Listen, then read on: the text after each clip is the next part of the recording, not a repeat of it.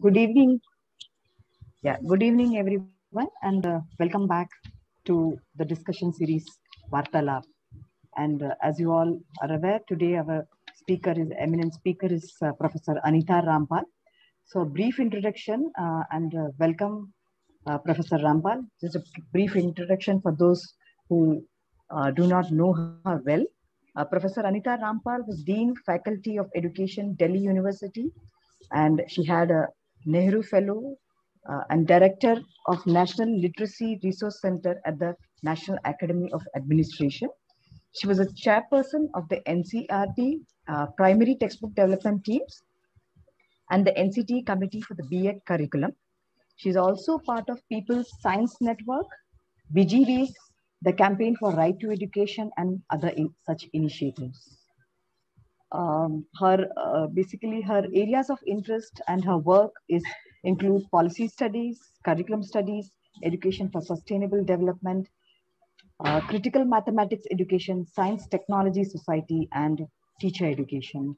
Uh, welcome, Professor Rampal, uh, to uh, engage with the discussion on mathematics education. We are all eager to hear from you and learn a lot from you. So over to you, Professor Rampal. We can take questions at the end of the session, probably. And if it is really something uh, urgent, you can just raise your hands or put it on the chat box. Yeah. Okay. Yes. Just a minute. Uh, something is okay. So do tell me whenever you think. Uh, can you hear me because you're sure. frozen? Yes. No, Okay. we can hear you. And yeah, I'll, I'll do let you know if there is some uh, kind of problems with the network or if anyone has raised their hands. Okay. Somehow my um, screen has got frozen. I'm just trying to. Okay. Yeah. So um, good evening, friends, and uh, I I know that uh, Gomati has been trying to contact me for some time, but there were too many things happening, and we've just managed to meet now today. I think uh, what I'll try to do is that since uh, there was this request that we should also look at the policy, what is what is the new education policy saying uh, specifically about maths education, the implications of that, and also then try and locate that within a larger discourse. So I will try to say that if we look at the policy, we find that there's probably very little. There's probably just one 4.25. Uh, it looks as if there's very little that is being said, but I'll open it up a little to say that uh, it may be just, uh, you know, one line, but it's trying to say much more, which we need to be wary of and to take cognizance of. Um, if people would also like the, uh, me to speak bilingually, I'll do that. So you can let me know. Um, you know, Hindi may bhi bolu, to shayad kuch suvidha rahe. पर मुझे बता दीजिए कि हिंदी में दोनों भाषाओं में बोलना सही है या केवल एक में? तो पॉलिसी में क्या लिखा है इस मैथ्स को लेके? That mathematical thinking and computational thinking will be given increase emphasis throughout the school years starting with the foundational stage through innovative method basically ये मेन चीज़ है जो मैथमेटिक्स के बारे में लिखी है। उसके बाद ऐसे ही है through innovative methods puzzles and game that make mathematical thinking more enjoyable and I want to say इस तरह की चीज़ें जहाँ भी पॉलिसी में लिखी है uh, बल्कि पॉलिसी में जब भी पेडोगोजी के बारे में लिखा है तो उसमें बहुत कम समझ दिखती है पॉलिसी की पेडोगोजी को लेकर whatever whenever anything is being written about a pedagogical approach it's a very there's a very uh, poor understanding or hardly any understanding of pedagogy. So that's why it resorts to words like fun fun based uh, activity based puzzles and games you know. I mean it's just that kind of a very superficial level at which it's talking about pedagogy whether it's talking about language or science or you know learning in anything else. So um, so that is what and there's one more line which says activities involving coding will be introduced in the middle years. That's all. So what seems to be like a very nominal uh, notion of mathematics in the policy it says mathematics and computational thinking will be given uh, increased emphasis.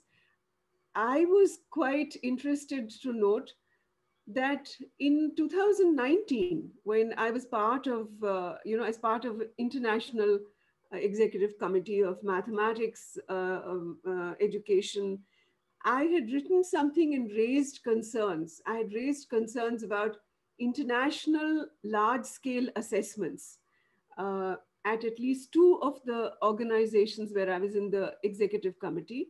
And I had written something which I just want to bring to your notice that उस समय भी policy से पहले भी एक जो मुझे चिंता थी गणित शिक्षण को लेकर वो ये थी in I had written that uh, you know there is a changed format for the program of international student assessment PISA और अगर आप लोग इससे परिचित नहीं है तो थोड़ा इसके बारे में पढ़िए क्योंकि ये अभी तक हमने uh, इस तरह की टेस्टिंग को रेजिस्ट uh, किया है we have not entered into this we means India and when in 2009 there were pressures on India to actually take part in the PISA test.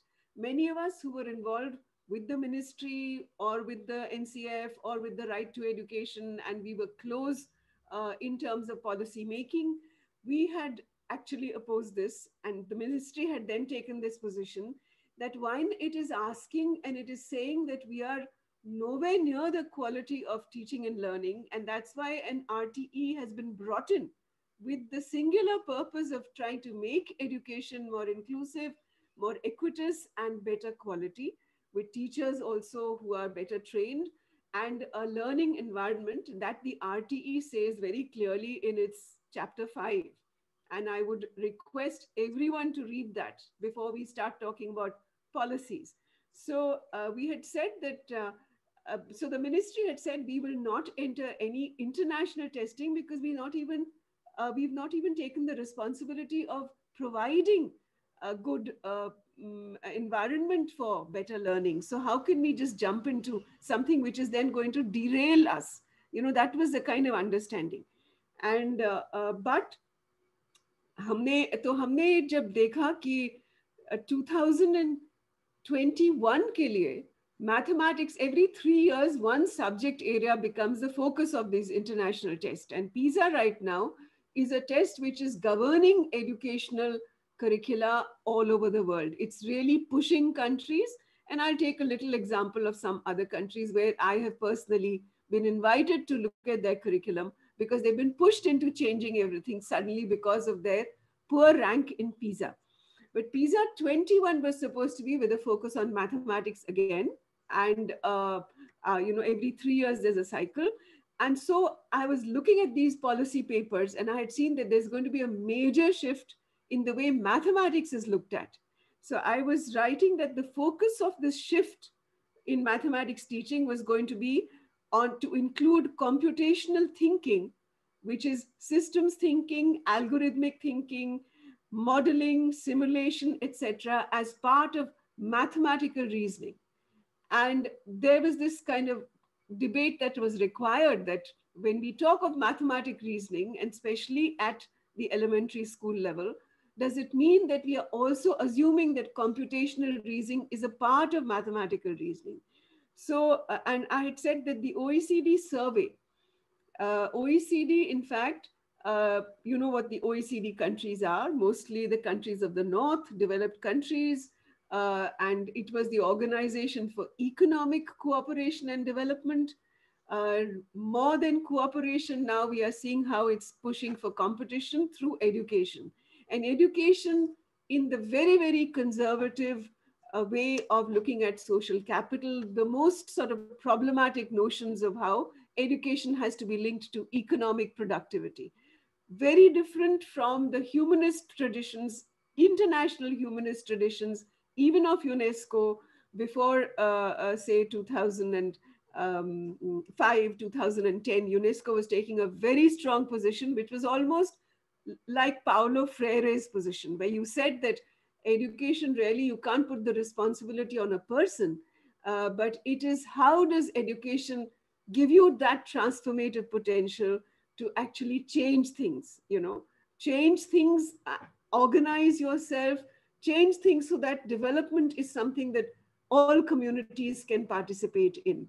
And whereas now, if you look at all the countries and the way they look at their policies, the way they frame the aims of education, including our own NEP 2020, the aim does not talk about transformative education or people's ability to question, interrogate, and transform their lives. In fact, it talks about fitting into. You know, it says everyone should be able to fit into the fast changing scenario. So uh, it's the fitting in that is being called for in most countries. And OECD was looking at, shockingly, it did a survey of global employment and industry of OECD countries. And it said that uh, the requirements of this changing industry would be that mathematics of complex systems, statistics, probability, and algorithmic thinking above and beyond the traditional uh, mathematics of arithmetic, geometry, algebra, etc., will need to be taught at school level, elementary school level also. And uh, curiously, when they did a survey of people, uh, you know, and they talked about surveyors or even talked about woodworkers, you know, tarkhan hai जो carpenters hai जिस तरह का काम कर रहे hain they said that now they don't need much trigonometry. Now they only need data. In fact इस तरह की कुछ स्टडीज़ थी जिन्होंने देखा कि uh, जो वेटर्स हैं रेस्टोरों में वो क्या उनको अरिथमेटिक की ज़रूरत पड़ती है उनको मैथमेटिक्स की ज़रूरत पड़ती है? तो उन्होंने कहा नहीं उनको नहीं पड़ती वो ज़्यादा कंपटीशन नहीं करना होता वो तो टैबलेट पे ऑर्डर्स लेते हैं और सब कुछ वहीं पर कंप्यूट हो जाता है they don't really need that so timetables railway timetables people don't need rail to look at railway timetables now you know you get this information all processed straight on the internet. And so these were the kinds of reasoning that were used because importantly, PISA claims to be talking about real life mathematical literacy. You know, the word is literacy. They don't even say, they say हम curriculum से कुछ हमारा लेना देना नहीं है हम तो ज़िंदगी में किस तरह की आ, किस तरह के गणित की ज़रूरत पड़ेगी उसको हम देखते हैं इसलिए हम उसको टेस्ट करते हैं। And that's why they don't try and say कि we are looking at any country curriculum which in fact they are they have been pushing for it how they push for it is because they do rankings they do testing now they've got A huge number of non-OECD countries coming in, and they also have a PISA for development. So they realized तो इन्होंने 2009 में India को बहुत manipulative वे से force किया था you know India का participation so what they did was the world bank and DFID जो ब्रिटिश एड एजेंसी है they actually took Himachal Pradesh and Tamil Nadu two states they funded their participation because funding a lot of funding is required for any country to participate in this And I know that more than from our country, I know it from Indonesia which had actually invited me in 2016 17 to look at their curriculum, which they said had been changed very rushed in a very rushed manner in 2013 because of the pressures of PISA. And when I met them, and they were very open uh, because they realized that we have similar concerns. They had seen our textbooks, they had seen our NCERT primary textbooks, and uh, so and uh, they wanted me to look at maths and science but they said they were surrounded. So look at the politics of being surrounded. So a country like Indonesia is surrounded by these very high performing countries. You know, uh, so they said in, in, Australia and Singapore and all these countries seem to be influencing, and they come and they tell our ministries that we will take a bid, of course, for payments, but we will try and help you change your curriculum. So, but the question was that we, when we looked at uh, even a country like Indonesia, uh, when they changed their curriculum, I was shocked. I was shocked because their class seven mathematics textbook was 700 pages. It was just full of information. It was intimidating in the most traditional manner. It was full of information, formulae, and you know all kinds of diagrams. And uh, even when it said it is taking a real life context, it is very contrived. I mean, I have written this in a report, and I recently noticed that they've actually published that report. Uh, so, uh, you know, they had they called someone a farmer, but this farmer had a tie, and then we we suddenly realized that actually the person was posing as he may have been a very rich farmer, but he was actually the author of the textbook. And so, you know, it was all there were some women with children and selling apples, and that was a photograph taken straight from the internet from a European context. So, you know, this is what happens when we think that culture or location or context doesn't play a role. And we get completely sucked into this regime of testing, which our new policy is very strongly now coming in with. You know that there is a national testing agency. It is clearly saying that now this testing agency will be telling what the states should be doing. In fact, in the entire curriculum development, you must be knowing what's happening. There's a 170 page guidelines which has gone to the states, even while they're being they're supposedly writing their state curriculum framework. And these guidelines are completely sort of really imposing on states what they should be doing. So I'm just saying that the centralizing agenda of the of the policy is going to be is a matter of great concern and one has written about this. Just as the consolidation agenda which says that uh, small schools are not optimal close them down. So in orissa 10000 schools were closed down. In another more so the tribal areas closed down schools because they say uh, very low enrollment. So they have uh, many of us who worked on the right to education and legal experts have questioned because this policy actually contradicts the right to education. It contradicts a fundamental right, which a policy cannot be doing. So, uh, and one of the most damaging statements it makes is that uh, inputs will not be focused on. There will be not much focus on inputs. And so I just want to start with saying कि ये जो नव उदारवाद का ये जो new liberal शब्दावली है जिसमें लर्निंग आउटकम्स हावी हो जाते हैं uh, our ministry, when it passed the RTE, had given a note saying that if a child is failing, it is not the child, it is we who are failing because we have not been able to provide an environment for good education, equitable education.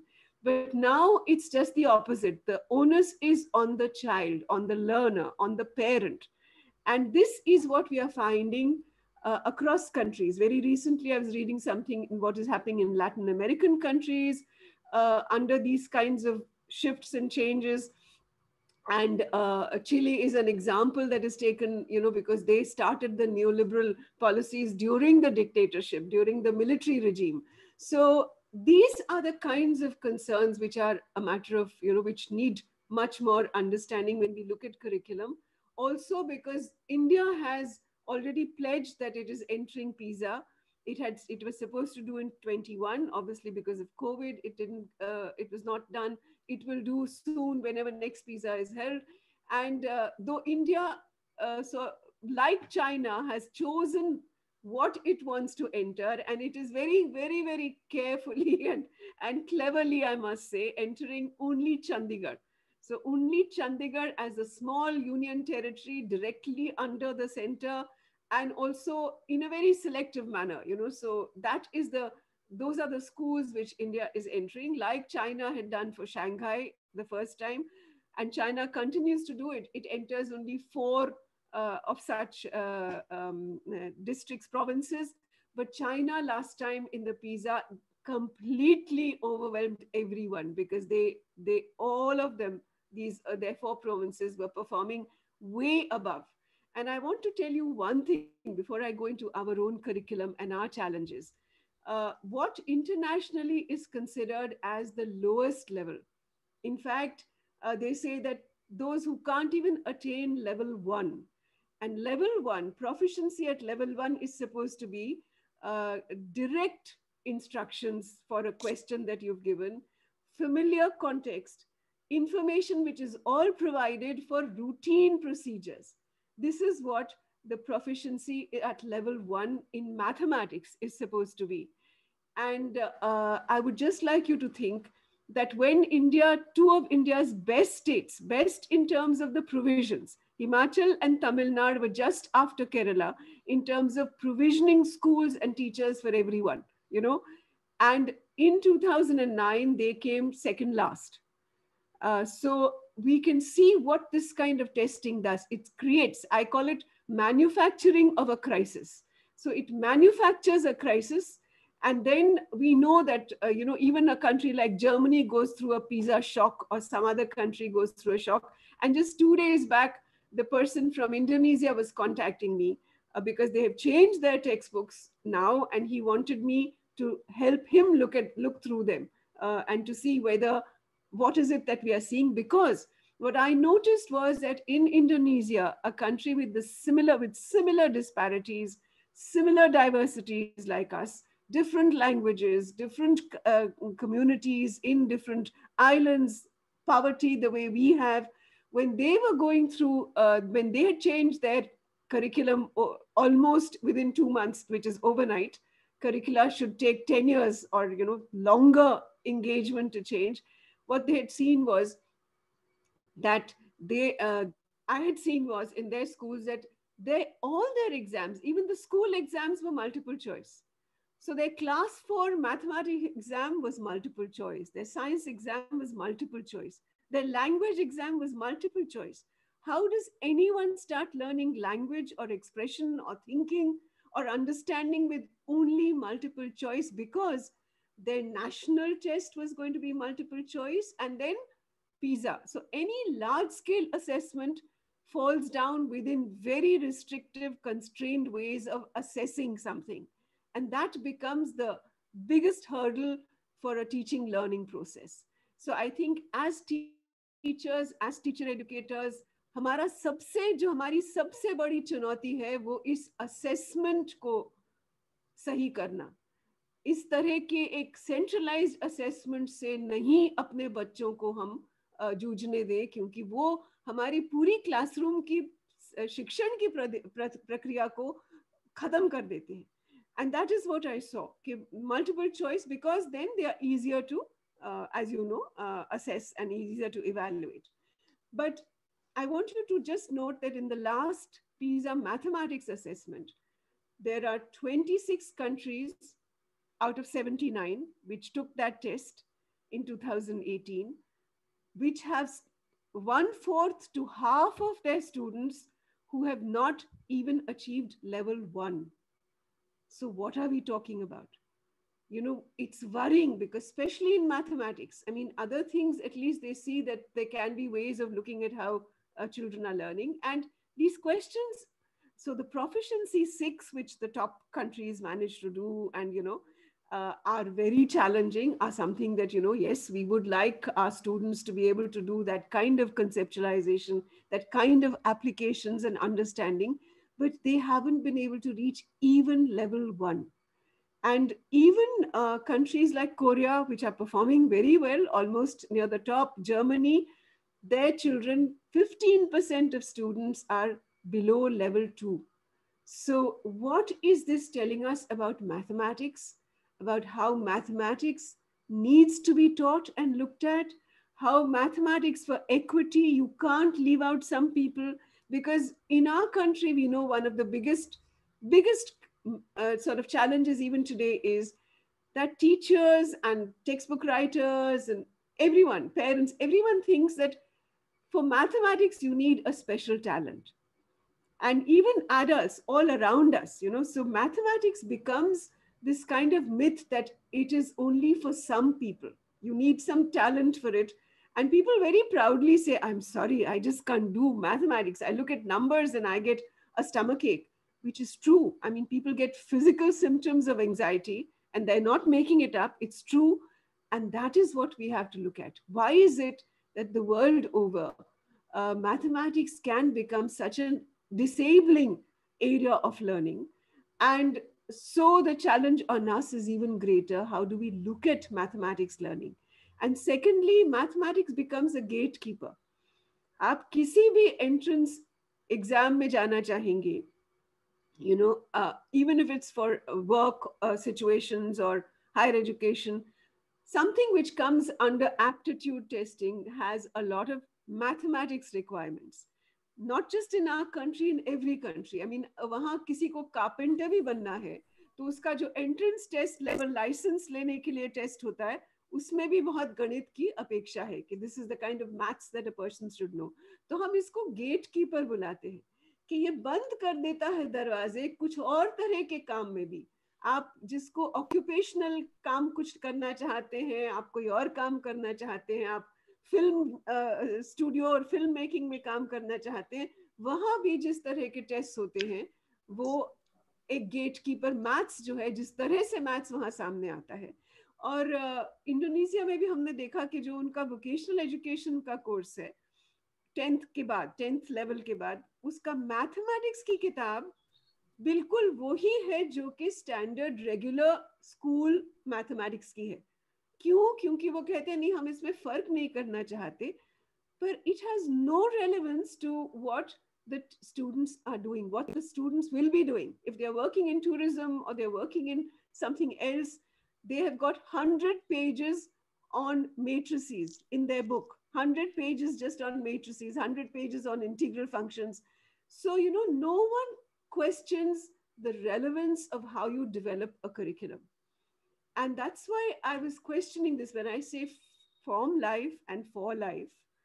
And this, in fact, comes from the Nai Talim. Nai Talim ka jo motto tha, wo tha education from life for life. And हमारे लिए भी अगर हम uh, शिक्षा को इस तरह देखते हैं और हम ये अलग नहीं करना चाहते कि स्किल्स जो क्षमताएँ हैं वो तो हाथ की हाथ से काम करने की क्षमताएँ सिर्फ़ कुछ लोगों में है जो जिनमें एबिलिटी कम है whenever we say ability even in delhi government schools it's shocking in class in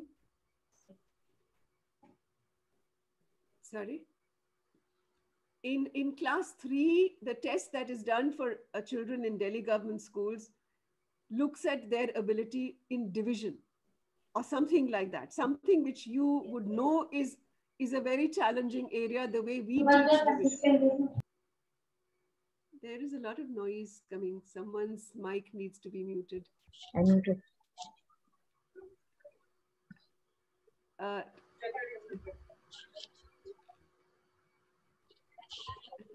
Yeah, ma'am, you can continue. Yeah.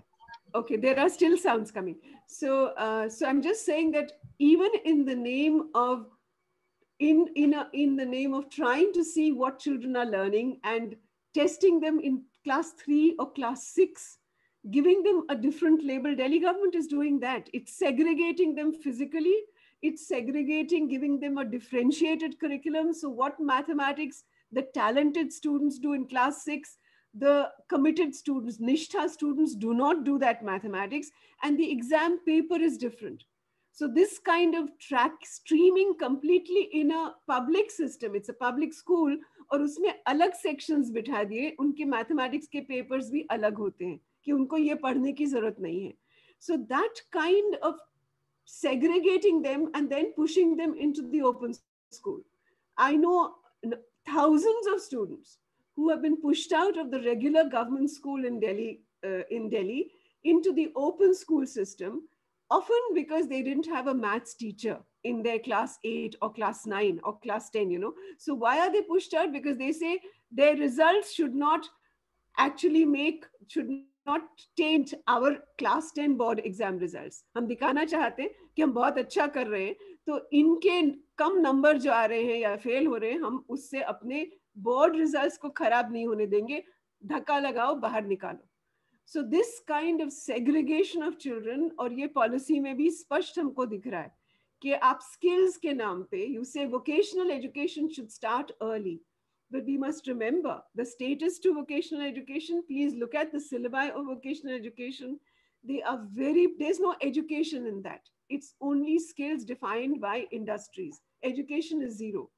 so pushing out people under the name of ability, we must also remember then what is the responsibility of the way this testing is done and what kind of maths, whether it comes in the name of aptitude testing or it comes even for civil service examinations, what kind of maths comes there. Now, having laid out the major challenge before us, I just want to take uh, a couple of examples which you may be familiar with to say that what is it that we tried in NCERT. Some of you may be familiar with these books, some of you may be teaching with these, I don't know. And uh, can I just screen share for five minutes?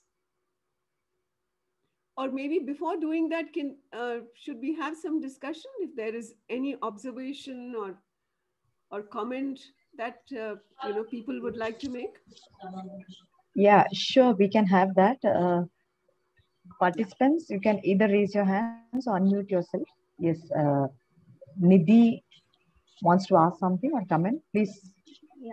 yeah. Um, um, hello, ma'am. Uh, so um, it's it was a pleasure pleasure hearing you. So uh, while you were talking, I was remembering how I was taught mathematics. So uh, we used to do multiplications. I learned tables at a very early age, but I didn't know the logic behind tables. So I learned table till 20, but um, learning the logic behind multiplication and table, it happened incidentally when I was in ninth and 10th grade. It did not happen intentionally no one taught us intentionally that okay this is uh, the logic behind mathematics and this is the principle or means uh, this is the theory that means there the implicit thing that should be learned first it comes incidentally and accidentally to many people then they grow to start loving mathematics but uh, earlier there was a very very much anxiety so yeah thank you for true. talking about. That. That's true. And in fact, uh, you know, even when we work, I mean, my own students and we have worked with teachers, and what are the kinds of teachers' beliefs about mathematics? Who do the teachers think are good learners, and who do, what do they expect from good learners? There is an entire belief system around that. You know, there's a belief system that mathematics has to be done fast. Those who come up with the answer quick and come to the correct answer are the good learners. Now, these are myths. These are not really uh, characteristics of good learners or they don't lead to good learning. So uh, I'm just sort of raising some of these issues. Obviously, we can't go into the detail of these things, but these are all areas of mathematics research now. Mathematics education research is looking at the identities that we form through mathematics by telling someone, oh, how smart, and by telling someone too bad you don't have it in you you know? You how do we form these identities? What do they mean for children's participation? Not just in school but even later. And that is a big issue about justice about you know are we really entitled to be making these kinds of labeling whether implicit or explicit uh, on a child and then telling them that you're no good in something and also then telling them that you're not smart enough to be doing this you know. So these kinds of things or for instance like you said that you struggle with it yourself. You're never given that chance because uh, you're always told that your answer is wrong you know that's all. At the most a teacher might give you some steps but teachers themselves are part of a system which doesn't understand how really mathematics should be taught and uh, recently we were discussing something which was very interesting that, you know, Cuba was known for its children performing so well. But what was important was that it was a virtuous cycle. I mean, they interestingly took a, a syllabus from GDR, from, you know, East Europe, East Germany. And then they adopted it some years back. But the way they their children got uh, you know, it was like a cycle because their teachers at the secondary level knew such good mathematics because the focus was on concepts. If even their textbooks had much less than the textbooks of Brazil or Chile in the same region, but they had less, but they really understood it deeply. And there was a focus on child centered approaches, there was a focus on doing it through work. They found that, uh, that they could do so much more demanding mathematics even at the secondary level and then these people, when they became teachers, obviously the curriculum could be much more demanding because teachers could handle it. So, you know, to have children learning good mathematics means that you really need a virtuous cycle, a cycle within your system, which creates good teachers, which provides good uh, mathematics right up to the secondary level, because that counts when you become a teacher. And then how does your curriculum uh, get, uh, shape so that teachers understand what learning is all about? Not just in getting one right answer you know or not just saying sorry you're taking too long to do this. So i'm saying that even within one region we can see there is so much difference in the way children perform or so much difference in the way textbooks and curricula are made. And especially on assessment Cuba has never gone, even till today, has not entered international assessments. So, you know, I'm just tying these things up that why is assessment so important? Because it pushes you in terms of the curriculum that you should be doing and it pushes teachers, you know, uh, because the blame then comes on them, either on the child or on them. Yeah. Any other observation? Yeah, there is one more, Dr. Kaushal. Yeah. Yeah very nice uh, discussion and a very new face of NEP is coming out, ma'am.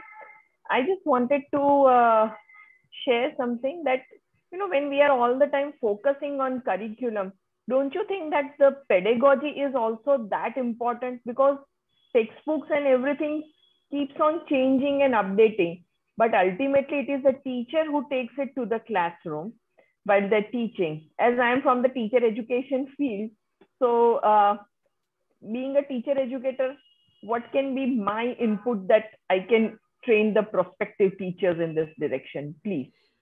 I want to clarify when I say curriculum, it includes pedagogy, it includes assessment, it includes everything. Curriculum is the broad umbrella under which we talk. Curriculum is not syllabus. So curriculum includes like the curriculum framework that we talk about, NCF. Yes. So curriculum is a word which includes everything. Assessment is an important part of the curriculum. Pedagogy, of course, is an important part. And that's why I was giving this last example, say, of a country, Cuba, where because they have invested in a curriculum, which means everything, not just what you put as topics or competencies or whatever it is, yeah. how you do it. They were influenced by Vygotsky, they were influenced by Makarenko at the time when they were framing this uh, uh, their understanding of how uh, mathematics, how, how the school curriculum should be shaped. And uh, so I'm saying the depth in which concepts are understood right from the beginning, obviously it means that's what I was trying to say that the teachers have been through the same kind of teaching, learning, the same kind of learning. And when they become teachers, there's a lot of focus on how they will be teaching. So their internship, their teacher pre-service training, everything is focusing on understanding learning processes. So what should teaching learning? Not just saying, I delivered a lesson plan. That's meaningless. No. How can yeah. you deliver something? You know, in my own BEd departments, my students would say, teachers would say, we delivered 20 plans. It's not a delivery system. So what is the transactional uh, uh, role in that? how does teaching learning happen not only by an individual student but as a social process how does the mathematics of everyday life come in and should come into the curriculum. If it does not then it's a very very jaundiced very very you know distant curriculum which is not ready from life. So all these things unless they are part of that and even for instance when i spoke to people in finland because they again are said to be performing very well but when I was lucky when they invited me there to talk on policy, I met people who had who retired from the faculty, but they were part of the curriculum development in the 80s. And they said it takes 10, 15 years. It's not something that you do in one year or two years, you know, that kind of understanding and that kind of convincing and acceptance by teacher educators, by teachers. So what do we mean by learning uh, which is a social process. What do we mean by constructivist learning? It's not just repeating a term and you know everyone will understand it. That and and she said that for them the biggest challenge was by that time by when when she was in school and later it was assumed that a rural child needs a different kind of learning and the urban child will have a different curriculum so she was saying just bridging that and saying that we have to have the same kind of teaching and learning, and there has to be an equity between rural and urban. She said that was very difficult to convince teachers because even teachers start thinking that, you know, mm-hmm. that child just needs to do farming. So why should I? So I'm saying that equity, which they worked on, is a long, is a deep process which we have to understand. In mathematics, I'm underlining is because it's the major process that happens we tend to assume that not everyone can do this. So why bother? And this policy, when it talks about the foundational stage for liter literacy and numeracy, is very damaging.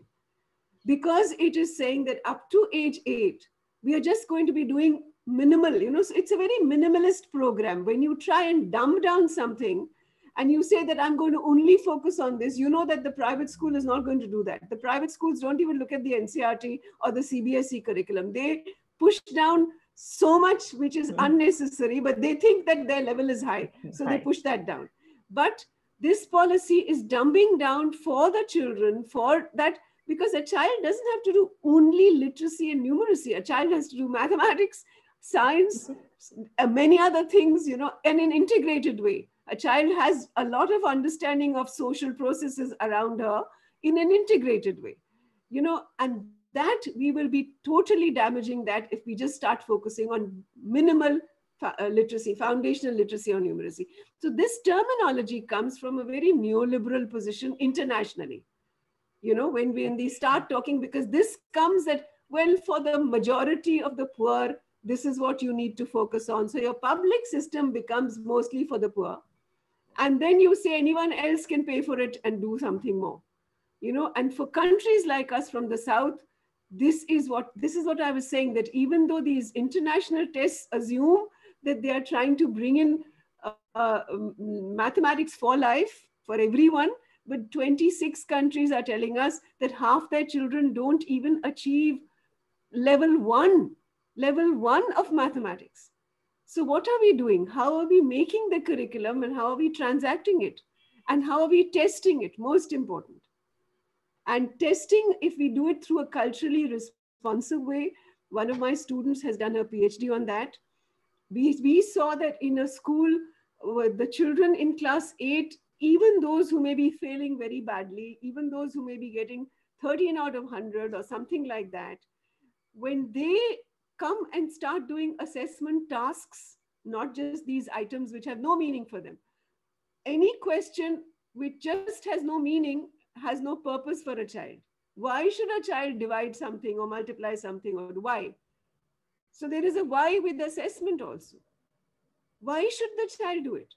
So when there's a task for which has a purpose for the learner, the child knows why I'm doing this, the purpose for me to do this. The child learns in the process of assessment. We did no teaching. We only did assessment tasks and we found children from each other, children from something they had learned earlier. Children learned so much more in terms of data handling which they didn't know in their regular classroom. And they could have been failing there, but they were learning here just through different formats of assessment. So that's why assessment I'm underlining as a very critical part of the curriculum. Yeah, and the obviously the pedagogy. Yeah, thank you. Yeah, ma'am. There's one more hands raised, Dr. Ruchi Kumar from TISS. Yeah. Hi, uh, Dr. Anita. It was really a pleasure Hi. to listen to you. Hi, Rishi. Yeah. Yeah. Good to see Hi. You. Good to see you too. Uh, so, uh, I one of my students is working on the you know the alignment between the intended curriculum that is there in the uh, curriculum documents, the textbook, uh, the enacted curriculum, which the teacher enacts in the classroom, and the assessed curriculum, and what is there in the uh, you know the tests uh, that are there uh, at the at the school level or at the test which are given by the teachers. And uh, it has been very interesting to see that you know the teachers and we also know from our previous research that teachers seem to align uh, their pedagogy more to the uh, towards the assessment. Uh, the kind of assessment that has been externally imposed rather than the assessment that they themselves you know might create to assess uh, students' learning. So to what extent uh, do you think it is important for us to develop uh, teachers' uh, capability to design authentic assessments um, in order to, uh, you know, even uh, bring out the depth in their pedagogy itself to Absolutely. allow or to empower them to learn from their pedagogy? Yeah absolutely. And that's why i don't even separate these terms of intended and enacted because they're all connected you know. I can't even separate them. Like i can't separate formative from summative assessment. I don't think we need to. When you say authentic assessment that's a part of the pedagogy. That's part of the teaching learning process. Whether i do it at one point or i do it at the end of the term they, they cannot be because you know teachers i recently we had uh, a workshop in SCERT which was saying how do we look at holistic assessment as the policy is telling us to prepare a holistic uh, report card and we had some teachers experienced teachers from some you know elite schools who say they spend a lot of time on assessment, but even they are caught up with words like diagnostic testing. We do the, and then I ask them why diagnostic. The word itself is so so terrible. You know, I mean, you're diagnosing a, an illness in someone, and then you're doing a remedy. Why do we need these terminologies?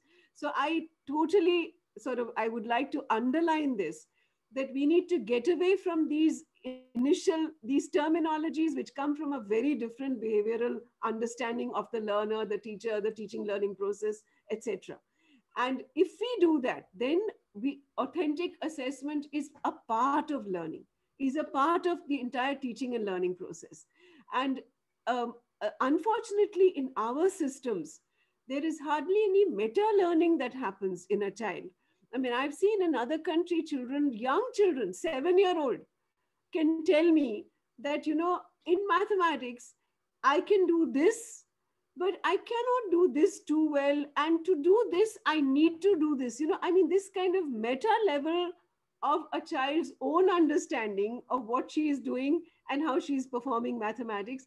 We don't have it till our in the entire school system.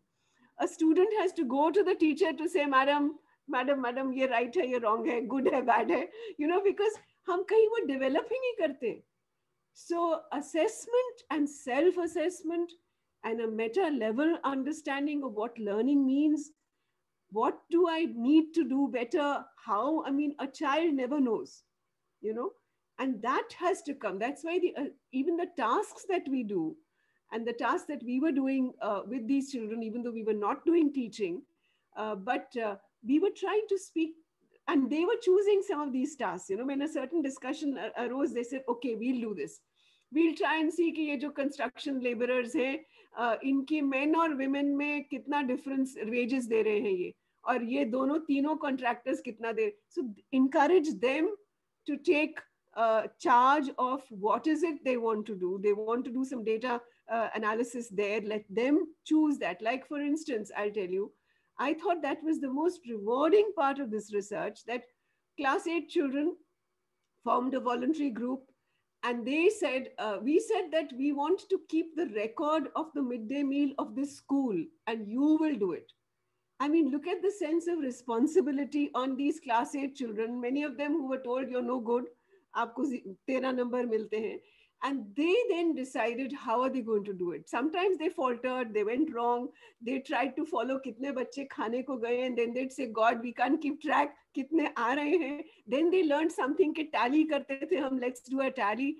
And eventually, when they actually kept the records of the midday meal for the school, the sense of agency the sense of responsibility they actually came and told us and told the principal ke ma'am कुछ घपला है क्योंकि we have seen the site जहां से ये mid day meal आता है वो साइट कह रहा है कि 900 meals are Saint every day we have been keeping a record over these past few weeks we get only a 100 meals because only 100 children eat others bring others को teachers discourage करते हैं तुम्हारे माँ बाप ऐसे हैं कि तुम्हें खाना तक नहीं दे सकते that's the way the teachers were telling the children so they are telling the principal that there is some mismatch. The agency says they send us 900, they don't.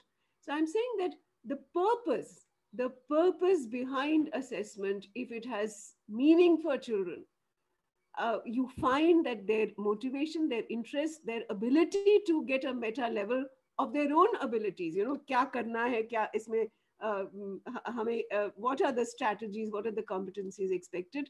So if if that happens i think that is a major step in our country. In our country assessment has been the weakest link.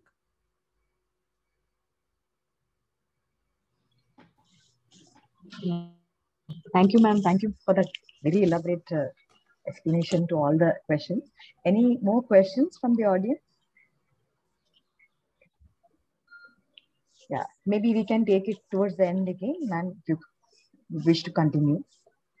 I'll quickly, actually, since we've taken up most of our time, I'll just take hmm. one or two examples just to show you that. I mean, or, or can I, uh, Gomati, can I assume that everyone is familiar with the NCERT textbooks or no? Should I? Uh, can we have can we have a hands raise as to how many of you are familiar with the NCERT textbook? Primary textbooks. yeah.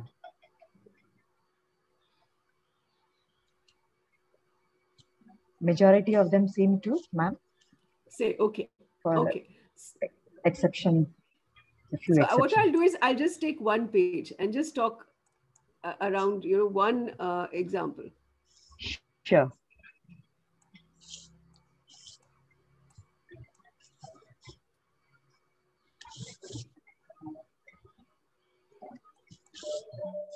Just as a just as a token example i will just take this you know one chapter to say uh, why were we uh, thinking in terms of thematic chapters? Uh, can you see this? This is a chapter called building with bricks. Uh, there are other thematic chapters like there's something on Bhimbetka, the cave paintings, there's something on time, the notion of time. Again, I've written about this also that, you know, in all mathematics textbooks across the world, you find that the teaching of time is only about reading clocks and calendars, nothing else. Why? So uh, there also how we try to look at what time means for a child from her everyday life, from her context, and develop more in terms of a sense of time. Do, do children, can they understand what things happen in seconds and what things happen in a minute or what are the kinds of processes that take hours rather than just giving them that one minute has 60 seconds which is a trivial information that is given. So uh, uh, you know so this is what we mean by what i mean by trying to look at uh, mathematics from life and then for life. So i'm just taking one example. Uh, in this textbook in the class 3 textbook we didn't this was the first time we were talking about anything like a rectangular, like a cuboid. We've never used these terms. I don't think we need to use these terms. It's, it's uh, because the more terms that we use, which are very unfamiliar, which are not really part of uh, the child's everyday uh, experience, they tend to then become another burden. You know, there's a term that has been used. Our policy was to avoid the term unless absolutely necessary because now that concept is understood and we need a term that can differentiate that concept from another concept.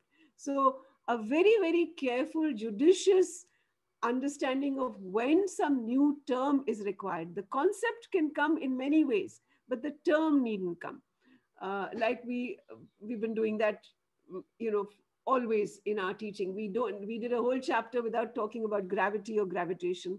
So I think you don't need a term, but how do you uh, without even explicitly asking a child, there's an implicit understanding. We must have space for implicit understanding.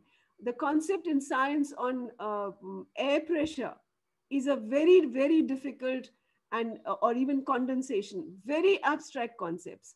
So don't jump on a term, but just say whether very implicitly, I may not be able to say what I understand, but are you helping me make this become use this concept and try and think about it.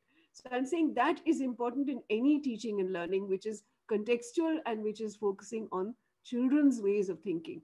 So here this was just a chapter on building with bricks because it was also an idea that you know there is so much more to building with bricks than just trying to look at uh, you know notions of a cuboid or uh, things. In fact the idea of heritage and this was this is a true story. It's not just made up. It was true that we went to this mosque which is a 300 year old mosque. And uh, the people who had built this their you know i mean the people who are masons today their ancestors had built it. So uh, these masons were the people who were actually making a school building over there a, a school which is a, a, which is actually a private school, but it's a school which came out of an initial school on the railway station of children out of school. So it's for disadvantaged children, but this uh, had to shift because they were thrown out of the railway station and then eventually they had some family land so the person went here to make the school. And in the school the architect was working with local masons and saying what is their knowledge? What is the local knowledge of these masons and was asking them that if we want to make a courtyard of the school let's make some brick patterns. And uh, they couldn't think too much because nowadays they said no one asked them to make any brick patterns you know so they don't have this kind of knowledge of how you do it. So the architect took them there and i went later and i was amazed by this mosque because in this courtyard that you can see there were 2000 brick patterns. It's a you know it's a courtyard of this and there were 2000 brick patterns and these photographs i have taken. So uh, you know, these photographs we took and the masons went there. They, they had seen these brick patterns they'd come back and then they all had made their own brick patterns and this is what it is what they had made. So we are using that real life experience of understanding local and indigenous knowledge and then coming back into the and, and making a whole chapter around that which is a true story and so you can see the children sitting on the on the finished uh, courtyard. This is the when the when they came back and they started making brick patterns. And then through this, we are looking at symmetric patterns. What is a you know what is a line of symmetry? So all these things are part of mathematics. So we're trying to do that. And uh, which pattern is in a circle? Draw a line. Do you see mirror halves, etc., etc. So there's much which is important in symmetries, which traditional mathematics textbooks think that this is just some play or games or something. So there's another way of trivializing creative ways of doing mathematics, creative areas of mathematics, because we assume that they have nothing to do with numbers. So, or they have nothing to do with um, angles or shapes. And shapes also, we never look at irregular shapes. We straight jump onto triangles and rectangles. Why? Why do we limit our horizon? Why do we limit the universe of mathematics in such a completely irrelevant manner that we don't look at mm, uh, how mathematics is playing out around us. And uh, so we, of course, then went into drawing of bricks and for the first time looking at faces, what does a face mean? Uh, you know, how many faces does it have? And uh, then looking at how walls are actually constructed, you know, how do you give strength to the wall? So uh, do you just place it like Munia has done or do you do it like Zainab and why? So asking real life questions about wall patterns and why is it that they're made this way and then uh, of course went into jharokhas and this is laurie baker's uh, construction you know really eminent uh, architect so we're going into how architects look at construction and why are jharokhas made why are so arches what is the just bringing in art and architecture and a legacy of uh, alternative architecture, on brick architecture, which this exists in Kerala. Uh, so bringing all that in the chapter and uh, finally doing some exercises about bricks and then how bricks are made. So going into a kiln, looking at the brick and then asking them to sequence this because obviously even sequencing a process is a part of understanding, is a part of mathematics. How do you understand sequencing? And then going into large numbers, you know, how many bricks do you think a truck carries? We, we've did, done a lot of that estimation, estimation of large numbers. How do you do it and how do you encourage that? So this is just one chapter that I'm saying how you don't go into straight away without thinking in a thoughtless manner, go into uh, shapes of triangle, rectangle, finished, uh, cuboid, do some measurements around that and then later on try and bring in applications. No, I think doing mathematics from life is really looking at life and then, you know, coming on to other more abstract ways of doing it. And people often think that these books have a lot of stories. I don't think it's true. Uh, they think that, you know, these are not mathematics. These are just making it interesting. I think even the word activity-based or joyful have been trivialized we tend to trivialize these words because we think that, uh, you know, uh, uh in the Indonesian textbook, in the mathematics textbook, my, I'm trying to stop share and it gets hung. It hangs here. You're audible. I'm audible? Okay, yes. but I can't stop sharing my thing. So anyway, Uh, so I, I, in the mathematics textbook, which has been revised, uh, it says we are doing an activity. And what was the activity? There were four statements, and the question was, which statement is different in this? You know, it meant nothing. Each of them was a different statement. So I'm just saying we trivialize sometimes this idea of what is activity based. We trivialize what is child centered.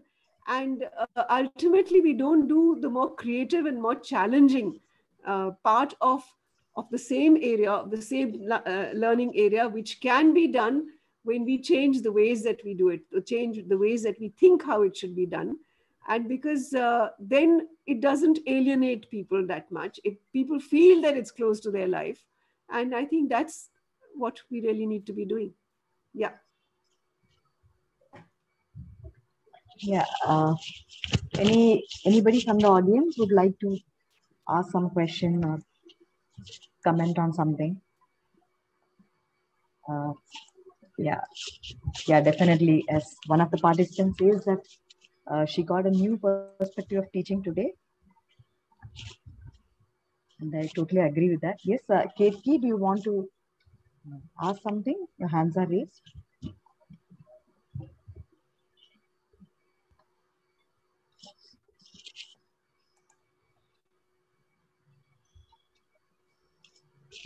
Any questions from the audience? Uh, Ma'am, can you also talk about gender and mathematics? Means um, there is a lot of preconception that girls are bad at mathematics, and also um, means my parents myself they um, they encouraged me to take biology rather than mathematics uh, after I passed my tenth grade. So yeah, so means yeah. how does that come into our culture? In Indian culture. Yeah, that, that comes in uh, in most places all over the world. Like I said, this understanding that mathematics is only for some special talent, some special people. You know, that you have to have a talent for that. Uh, then you know, again, this gendered understanding of what is maths because you design it in a very abstract way and you design it in a way which is very distant, it hardly has any human agency and so you tend to then marginalize women who might feel happier if there is collective activity. And that has been not just in maths, in science, and other things also. We, uh, we have found over the decades that when there are activities which are collective, which you do together, in which there's a lot of engaging, in which there is human agency, uh, uh, women feel, girls feel much more, uh, you know, they feel much more involved and they get engaged in that. And if it's something which is very competitive, uh, then it becomes more like, you know, the masculine sort of competitiveness comes in. And then you tend to tell girls that, sorry, you know, you're not really made for this. After all, what are you going to use this for? So that kind of gendering comes in many different ways. And mathematics and science become two things, especially mathematics, because it's science still has something that, to do with the with nature, with the world around you, with leaves, with and biology becomes again the area which women take up much more. Uh, but mathematics doesn't have any such thing.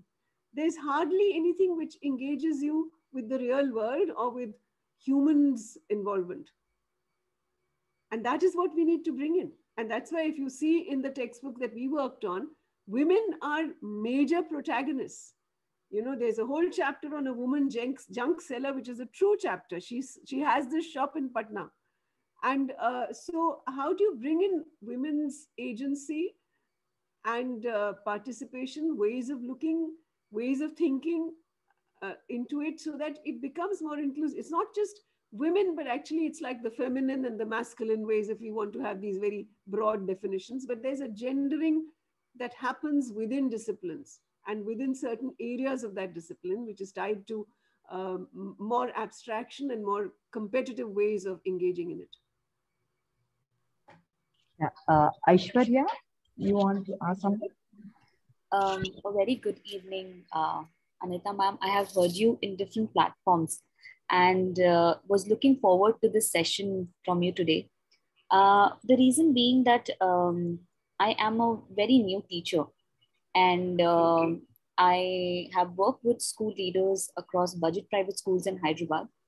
And when you say that the matter is very the math the matter of maths is taken very trivially in schools I agree to it because schools have targets to reach, admissions to get, and to show results to parents.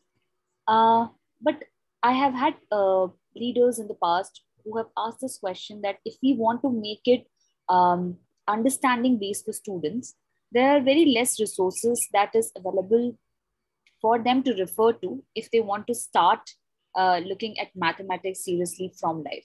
So uh, I think I don't know if this is the right platform to ask you over here, but uh, could you guide us to any of the resource uh, which uh, uh, which uh, I think not someone who has been an expert and uh, have that education to understand what really mathematics mean could go back and refer to if they really want to start looking at maths uh, from life for the school learning purpose starting from pre-primary to an elementary level if there is anything that we could refer to. Uh, if not a material uh, if you could give a perspective on how we can look at the uh, on the existing curriculum uh, to be more of learner centric and uh, create that uh, learning in students. Yes can i just you know i can't see you so i just want to take a second. I want to you know reconnect okay i'll just reconnect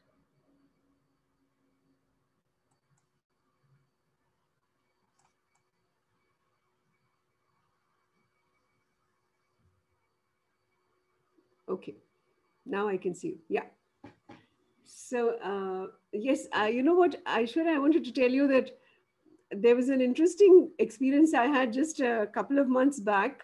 Um, there were engineering colleges and universities of uh, in Maharashtra who wanted to talk about assessment, and I was the person who was giving me a vote of thanks. She was the head of the IT department of uh, Somaiya University, and uh, she suddenly told me that you wouldn't know, but uh, you have actually really encouraged me to do mathematics not just in school but right through college and now i'm an i'm a teacher uh, my my phd is done and i'm a teacher in the engineering college. So i said how? She said uh, her teacher had given her this book called zindagi ka hisab. And i was just amazed you know i mean i'm talking to engineering faculty and deans and everyone and suddenly this person says that she had given up on mathematics and her teacher had brought this book zindagi ka hisab which we had written actually for adult learners you know? I mean we were doing the literacy campaign and we were working with out of school uh, youth and we had written this book zindagi ka hisab which uh, is an enlarged version. The english version is uh, numeracy counts and you'll find them uh, arvind gupta has digitized them and they are on the internet. They're available freely. So she said she found this and she has kept that book with her. And she she tells me that she lost hope in class 10 then again she read through the book i don't know how it was never meant for a class 10 child. And then she said that she has uh, even after class 12 it has given her hope. And you know in that session while she's giving me a vote of thanks she's narrating examples from the book. So for me it was like the biggest reward of my life that I've written something for uh, you know non-literates in a literacy campaign, and here there's someone telling me that she's gone on to do her PhD and she felt motivated by that. So look at that book. You'll find examples. You'll find a lot of things, resources from other places, and uh, then when you search for other resources, I think you'll get an idea of how do we engage with uh, you know how do we bring life into the mathematics or mathematics into our everyday lives. Yeah, yeah. Thank you. Thank you, ma'am, for that. Yeah, please, uh, since we have run out of time, uh, I would like to come to the closure of this session and we can go on and on. In fact, we have got in abundance, ma'am, from you today, uh, be it mathematics education, be it looking at the policy, and if I go to highlight those points, I may not do justice to the session that you have actually provided insights. You spoke about politics of mathematics education, that is manufacturing the crisis. You have also talked about mathematics for life, from life, for equity, and ample examples you have given. In fact, if I look, if I try to retrospect and look at the way, the flow of your session, I need to go back to the recording and see. Really, it has given a lot of valuable insights. Uh, we need to hear more from you. We need to listen more to you. And I think this one hour is not enough. I'm sure participants will agree with that. But today, thank you so much on behalf of our Center of Education Excellence in Teacher Education. I take this privilege to thank you for sparing your valuable time, coming here, sharing your expertise, and you know, sharing a lot of examples. I'm sure we will look forward to many more sessions on this mathematics education itself. And you have taught us to read between the NEP and try to critically look at the aspects of NEP. And definitely we will go back and do that. Um, thank you so much for coming Thank here. you. And thank you participants for joining us today in Vartalap, the discussion series. And we will come soon with another in a month's time and we'll keep you informed about that. Uh, Ma'am, there are people who are not from mathematics domain and still have uh, gained a lot of insights from your session. I'm very happy and I look forward to meeting you wherever you are, whenever possible. Absolutely, ma'am. Please, when you're in Mumbai, please do let me know. We'll definitely have a meeting. Yeah. Thank you so much. Thank you. Bye. Yeah. All Bye. the best. Thanks. Thanks.